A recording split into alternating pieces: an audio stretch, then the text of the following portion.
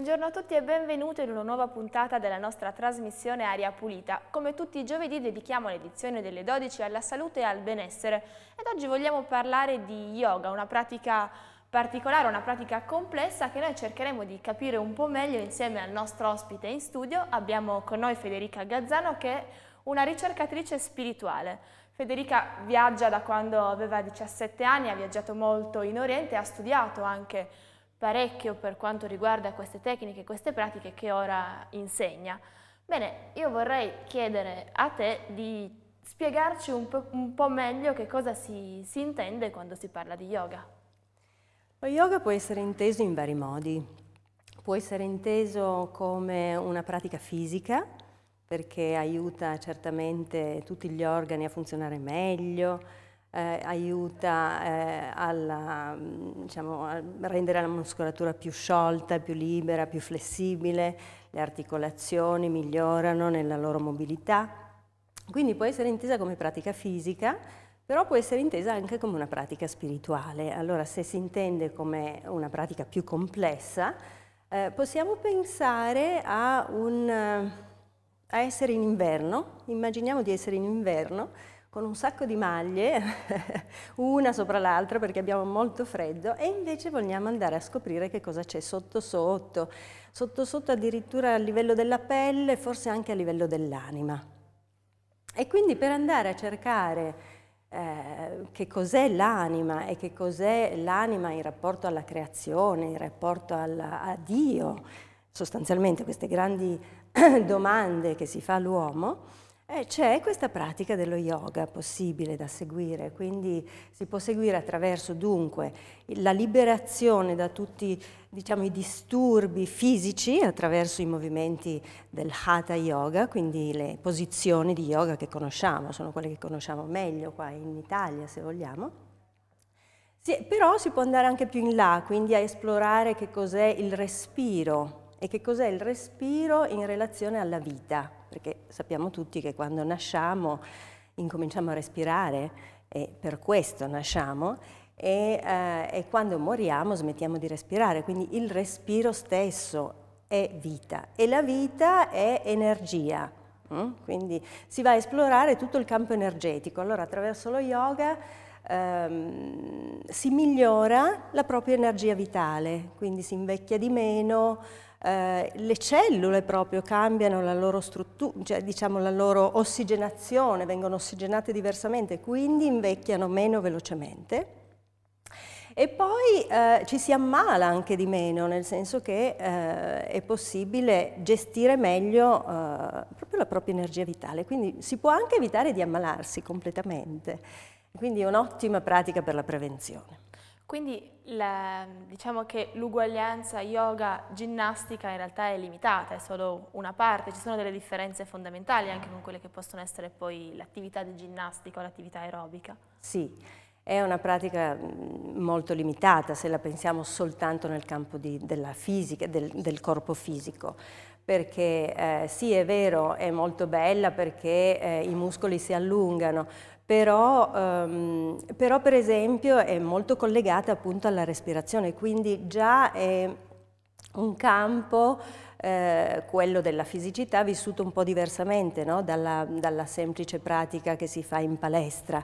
In palestra poi si lavora anche molto velocemente, infatti in modo aerobico, mentre nello yoga lo yoga non è aerobico, è anaerobico. Mm? Lo yoga ha anche molto a che fare con il campo emotivo, le emozioni, un altro maglione che ci si può togliere, no? ci si può liberare delle fatiche emotive anche, no? quindi chi soffre di molto stress, è sempre agitato, eh, è nervoso in qualche modo, sia per il lavoro sia per le sue problematiche personali, può avvicinarsi allo yoga perché, eh, perché, ha, perché può mm, migliorare la sua condizione. E se una persona è molto stressata e ha eh, sempre la testa piena di pensieri, per esempio, non riesce a fermare la testa, non riesce a fermare la mente. Lo yoga è molto utile perché ci sono delle pratiche che hanno a che fare con il suono, ci sono delle pratiche che hanno a che fare con la concentrazione, la famosa meditazione di cui si parla tanto e sono molto utili per calmare l'attività mentale. E sono attività, ad esempio, che possono essere praticate in una seduta di yoga, quindi con una, uno spazio adeguato, ma che poi magari servono durante tutta la giornata? Esattamente, sì. Eh, in genere gli studi di yoga sono posti tranquilli dove eh, c'è una certa pace, perché bisogna comunque, ecco, non è una pratica che si fa in palestra con la tv piuttosto che la musica nelle cuffiette, ecco, non si fa in questo modo. Eh, però ehm, è possibile comunque ritagliarsi il proprio spazio per qualche esercizio anche, anche in altre è situazioni. È possibile, insomma. anzi è, eh, è eh, auspicabile che una persona porti nella vita di tutti i giorni queste esperienze, assolutamente sì. Prima mi incuriosivi perché dicevi lo yoga mh, permette anche di invecchiare un po' meno velocemente, come una crema antirughe? Assolutamente sì, come una crema antirughe, sì sì sì. Ma come agisce? Agisce a livello molto profondo cellulare? Mm, perché eh, agendo sulla respirazione, eh, quindi gli esercizi si fanno in modo molto lento, quindi serve per qualsiasi età, quindi possono avvicinarsi sia i bambini che, le, che gli adulti, le donne in gravidanza, gli anziani, gli ammalati anche possono lavorare con lo yoga, certamente magari non faranno delle posture fisiche ma di altro genere e ehm, essendo una pratica molto lenta e che è molto collegata all'atto respiratorio eh, si vanno a stimolare l'ossigenazione delle cellule e l'ossigenazione del sangue diversamente dal solito. No? E quindi, eh, e quindi, le cellule vivono meglio e si riproducono meglio e, si ripro e, e magari non si sviluppano malattie degenerative o c'è, cioè, cioè, non si può dare la certezza, però comunque è una pratica che aiuta molto a evitare di sviluppare malattie anche gravi. E quindi in questo senso tu dici può anche essere utile per, per la prevenzione? Assolutamente, sì, è una grande pratica per la prevenzione. Però mh, mm, lo yoga è certamente tutto questo, un qualcosa di, di, fisico, un qualcosa di mentale, ma è anche una tradizione che viene supportata da, da testi, si studia anche. Su questi, su sì, si studia anche perché appunto andando avanti a togliendosi un altro maglione possiamo andare a ehm, studiare, perché è comunque una pratica anche di studio se vogliamo, se uno si appassiona poi piano piano va avanti negli studi e può andare ad avvicinare tutta la pratica mentale, l'attività mentale. No? Allora, siccome abbiamo detto che lo yoga è volto alla conoscenza dell'essere profondo, quindi del, di che cos'è l'anima e di dove va a finire l'anima dopo la morte del corpo fisico, o come è nata la creazione, lo yoga è nato così perché gli indiani sono appassionati di questo argomento e quindi si sono fatti carico di questa esperienza, hanno portato hanno, hanno concepito delle pratiche esperienziali, quindi una pratica eh, si, di cui si deve fare esperienza, non è una cosa mentale, eh, e l'hanno portata naturalmente anche sui libri, nel senso che con l'andare del tempo, no, dal eh, tempo in cui è nato Cristo in avanti, naturalmente molte persone hanno fatto l'esperienza e quindi hanno anche potuto scriverla, no?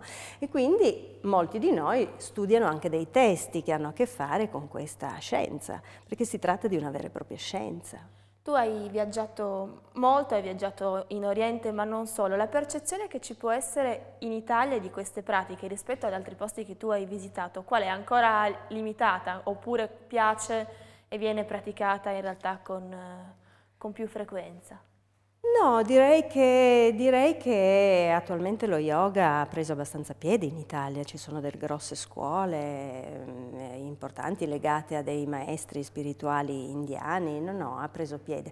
Naturalmente ci sono vari livelli di conoscenza, no? quindi uno si può avvicinare allo yoga semplicemente perché gli interessa avere a che fare con il proprio corpo e allora cerca degli insegnanti, delle scuole che abbiano questo tipo di taglio, è come un po' in tutti i campi, insomma, ognuno ha il suo taglio taglio e quindi invece ci sono altre scuole che hanno un taglio più spirituale e che propongono un tipo di studio dello yoga sia fisico che spirituale, c'è, un po' per tutte le tasche. Senti, abbiamo parlato fino adesso di una sorta di benessere però da, fatto da se stessi sul proprio corpo, sulla propria, sulla propria mente, sulle proprie emozioni. Esiste però anche un benessere che ricevuto, che è percepito e che arriva da, da qualcos'altro, come ad esempio possono essere i massaggi. Anche questo è un tema legato in qualche modo. Sì, è un tema legato, io personalmente nella mia vita l'ho legato molto perché eh, insegno sia yoga che eh, pratico massaggi orientali so, so, sostanzialmente perché mi piace molto l'Oriente e i massaggi orientali anche loro sono fatti come dire astratti se vogliamo, è una buona metafora questa perché comunque prendono in considerazione la persona nella